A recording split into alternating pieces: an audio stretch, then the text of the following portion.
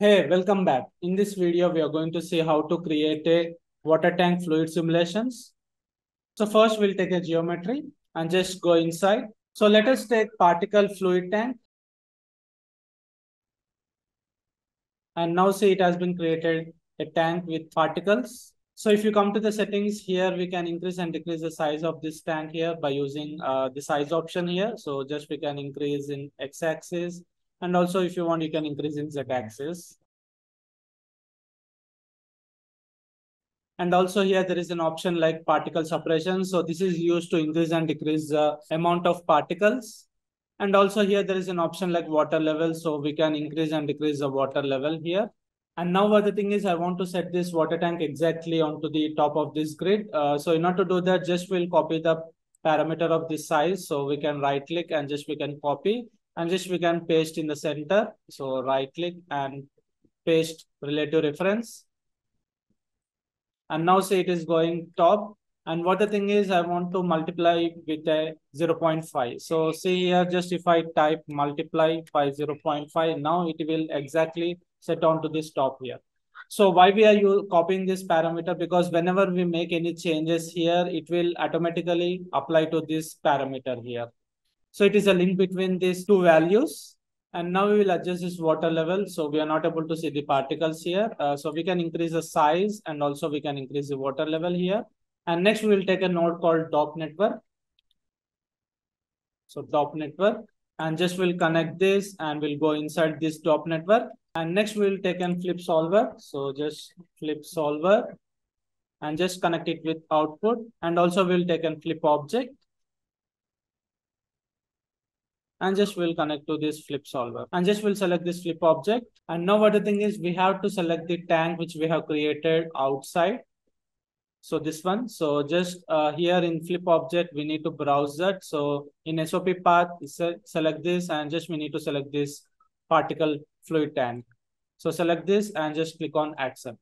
And now we will change the input type to particle field and next we'll go to the guides and here we have to go to these particles. And now at present we are seeing this sprite. So instead of that, we need to see the particles. So we need to select the particles in the visualization. And now we will add a force uh, because if you play, it will not fall down. So just we need to add a force so that the water will fall down. So just we, need, we will add a gravity. And just we'll connect in between this. And now we'll click on play. So see now the particles are falling down. And now see if you uh, zoom out, you can see these boundaries here. So the particle will simulate only inside this boundary. And this boundary size is very big here. Now we have to match the boundary size according to the size of this tank here. So in order to do that, just we'll go inside this. Suppose if you want to change the size of this boundary here, if you select this uh, flip solver here, there is an option like volume motion. And here we have to change the size of this box so that it will match exactly to this uh, flip tank. So in order to match exactly, so just we need to go to uh, this particle fluid and here we can copy the size of this box. So we can just like right click, copy parameters and just we need to go inside. And here we have to select this flip solver. And here right click, there is an option like paste relative reference. So why we are copying this? Because uh, whatever the changes we do for this particle fluid simulation. Here, if you change any size, then it will automatically apply to inside this volume here. And also if you want to change the volume color, so here uh, you can change this color. So just we can put it to like blue. And now for y-axis, we don't need this link here. Uh, so just we will, so if you select this box size and here y-axis, I will delete this channel. So right click, there is an option like delete channel. So now we'll change this uh, size of this box here. So just we can change. And now see, whenever we are changing the size, it is going uh, down the grid level. So we need to set this box exactly onto this grid level. So just we'll adjust this first. And we will copy this parameter. So right click, copy parameter, and just we need to paste onto this center. So right click, paste relative reference. And now what the thing is, just we have to multiply by 0 0.5. So that now say it will exactly set onto the grid level. And now we'll click on play. So just if you click on this play, and see. So it is going out of this boundary. So what the thing is, we need to convert this box as an collider. And for that, we need to select this flip object and we need to go to this option like closed boundary. So we have to enable this so that whenever we simulate, the particles will collide to this box. And see now it is colliding to this box here.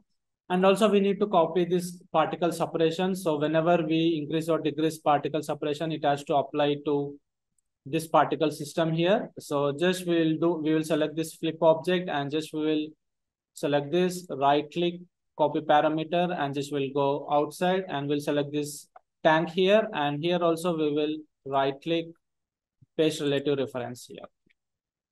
And now see it has been increased the particles. Uh, so whenever we make some changes to this flip object, so it will be applied to this particle fluid tank. So now the particles are more. Uh, so just we will uh, decrease this. Uh, so let's say we'll change the value to 0 0.18 or something. So now we will create some collision objects so that the collision objects will fall onto this tank. So according to that, it will uh, create the simulation. So in order to do that, just we will take any geometry. So let us take a sphere. So set the display flag for the sphere. Uh, so now uh, see the sphere is very small, so we can increase the size here. And also here we can convert it to polygons. And now we can increase the number of frequencies so that it will increase the number of mesh. And now what the thing is, we need to change the shape of this object here. So in order to do that, just we will take a mountain node. So just we'll convert into like rocks. So select this. And now see it has been changed the size. Uh, so if you want to do it more like we can use this amplitude and you can use this element size and we can use this offset. So we can get a different variety of shape here. So now it is round. So if you want to change the shape, so we can go to this sphere and we can change this. Uh, so let's say we'll change in like x-axis or something in this way. And if you want to make it smooth, we can increase the frequency of this. Uh, so just we can increase the frequency. So in mountain node, there are different types of uh, noise type here. So, so let us select this uh, option here. Uh, so this, uh, we will get this shape here. And if you want to decrease this sharpness, uh, then here we can use this element size so that now we will get this thing in this way. And if you want more divisions, we can go to the frequency. Uh, like suppose if you select this sphere and we can increase this frequency and just we can put up to like 15 or something. So it is okay. And also we'll make a number of copies of this uh, rock here. So just we can take and copy and transform. So we can connect this and just we can create. So enable this and just we can put the number of copies. So we want to create a number of copies like two. Uh, so just we'll translate this in this way. And now we'll just move these rocks uh, to the y direction. So for that, again, I will take a transform node, transform. And also just we will template this fluid tank. So now it's okay. Uh, so just we can move to this y direction. Uh, sorry, just we need to select this transform.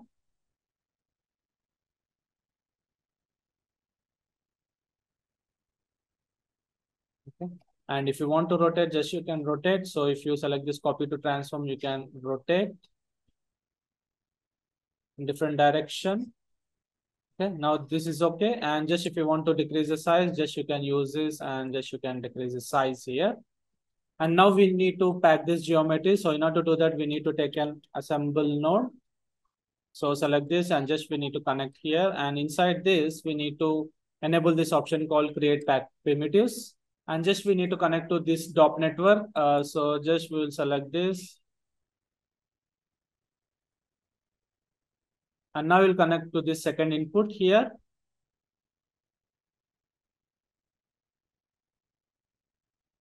And now we'll go inside this DOP network. And now what the thing is, we need to convert these rocks into rigid bodies. Uh, so in order to do that, first we'll take a node RBD packed object. And after that, we'll take an rigid body solver and just we need to connect this. And now what the thing is here, we need to browse the model. Uh, so if you select this RBD packed object and here you can see the geometry source.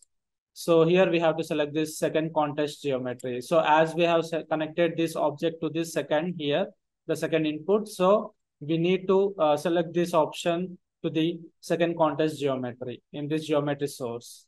And now we need to merge this both. Uh, so we need to take a merge node and just we need to connect in between. And now we have to connect this object to here. And in merge node here, the effector relationship, we have to set it to like mutual. So now what the thing is, we need to add the force for the rocks too. So now we have added this gravity. So this gravity works for only the particles here. So now we this gravity has to be effect to this both the objects and objects and particles. So just I will disconnect this gravity and just I will connect after, after this match here.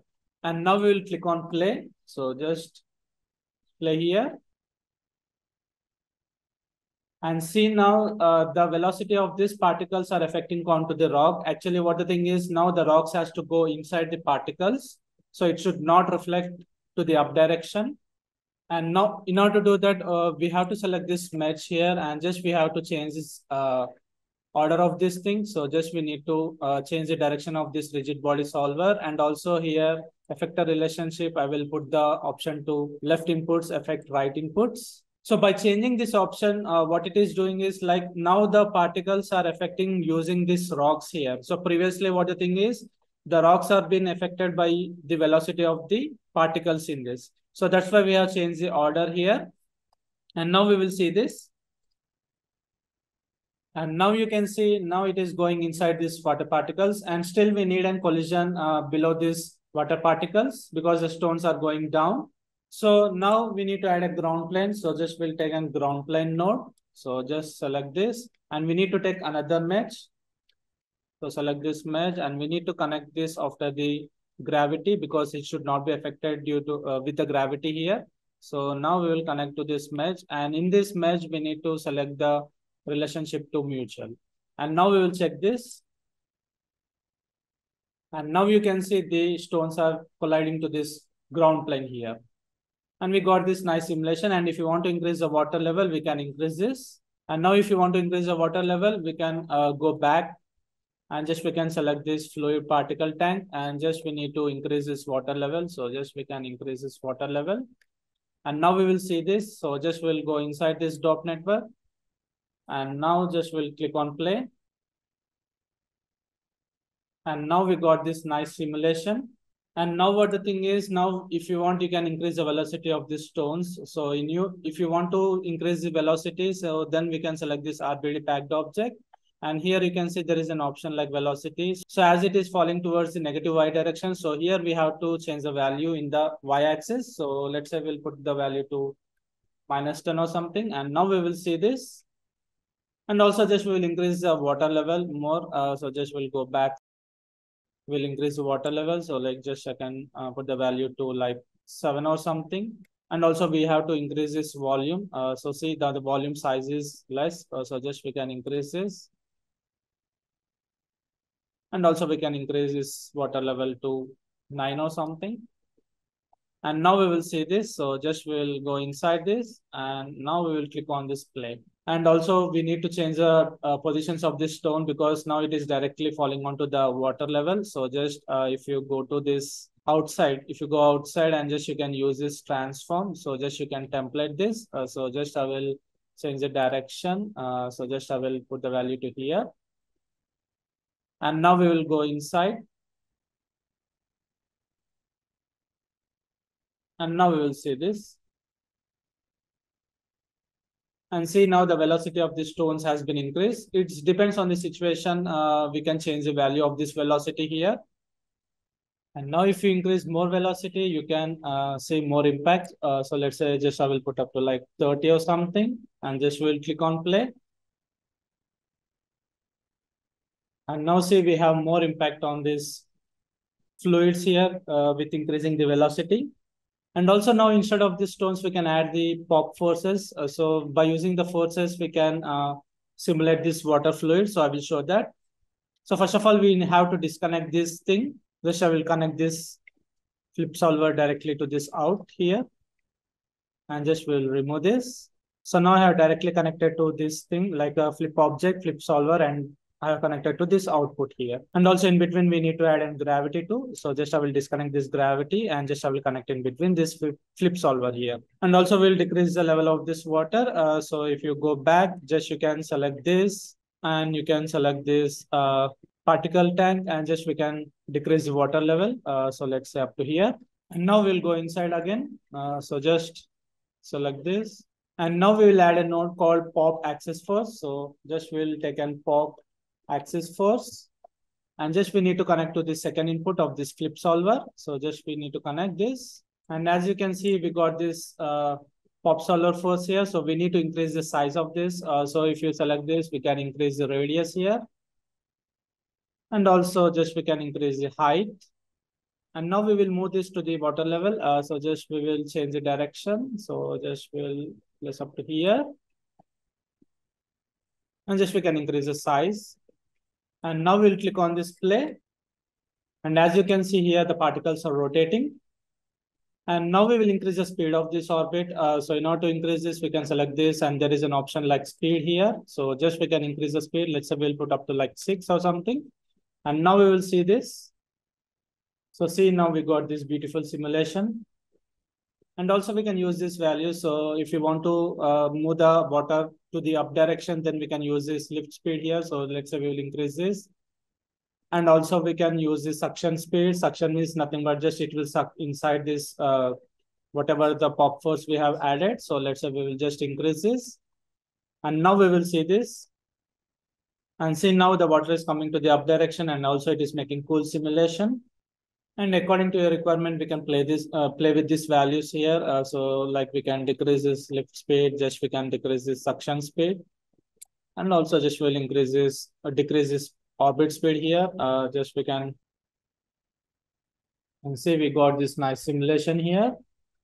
And also now if you want to create more turbulence uh, on this water particles too, because the water is very flat here. So if you want to create some sort of this uh, like turbulence here, we can add in force called like pop force. So just we can add this pop force and just we need to merge in between this pop axis and pop force. So just we'll take a merge node and just we will connect in between here. And just we'll connect this here. And now we'll go to this settings here. So select this and we can uh, add some sort of noise here. So if you select this pop force here you can see there is an amplitude. Let's say we'll put it to like six or something. And now we'll play and now you can see it has been added some sort of noise to the overall uh, fluid here and also if you want to uh, add this swell we can use this swell option so just we can increase this so just we can put the value to like three or something and just we'll click on play again. So see now it is adding the swell. And if you want to add more dark color, we can select this flip object. And if you come down, just we can increase the velocity. So let's say we'll put up to like 20 or something. And now we can increase this lift speed here. Uh, so just we can put up to like six or something. Just we'll see this. And now we got this cool simulation. So in this way, we can create the flip tank simulation. So that's it for this tutorial. See you in the next video.